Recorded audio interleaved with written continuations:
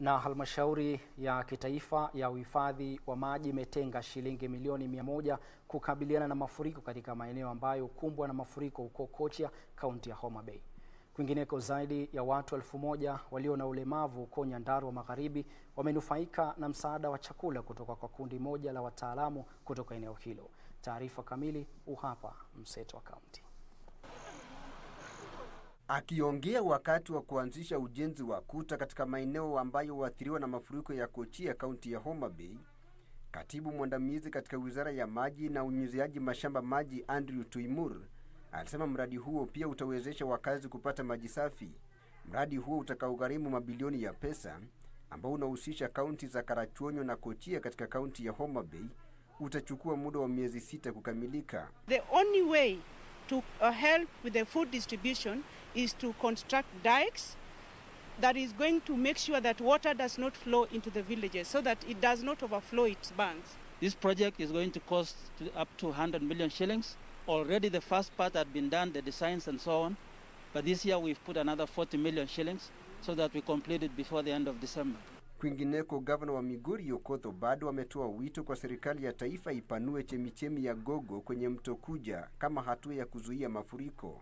A lot of that water will be stored uh, in that dam and only get released to run that power station and even that power station there are plans to expand it.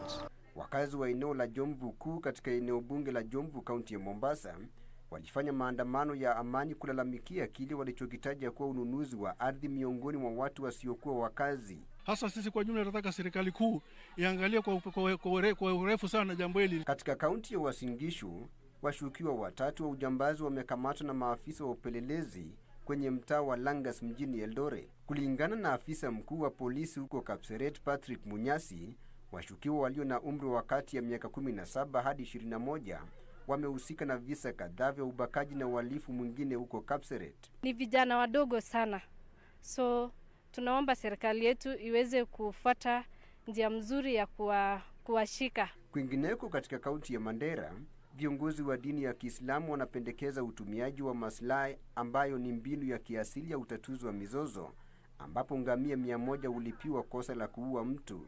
Hiyo ni muhimu sana na tunaunga mkono kama sisi na wazee e, kuanzia leo. Hiyo nidhamu ni mzuri sana, kwa sababu hii tukichukua, tunaamini kwamba inakomisha mambo ya conflict. Na mtazamaji, dakika 12 hapa baada ya saa moja kamili saa za Afrika Mashariki, na kufahamisha kwamba matangazo haya yanapeperushwa kupitia Facebook page yetu ya KBC Channel 1 TV. Kumbuka unaweza ukatoa maoni yako pale, na baadhi ya wale ambao mnatizama ni Wycliffe Baraza ukiwa Mombasa Migombani, alafu uh, Were wa Busia unasema unatazama Channel 1 pia. Uh, mwingine hapo anajiita Pele Kolipo ukiwa Migori, Dorothy Nana ukiwa Kilifi na Bami Elmi ukiwa kaunti ya Baringo. Zidi kusema nasi na zaidi kutoa mchango wako na hisia kuhusiana na taarifa ambazo tunazidi kukupakulia. Darubini ya Channel 1 inaendelea kwa muda wa kalenda dufu, kwa hivyo usiende mbali.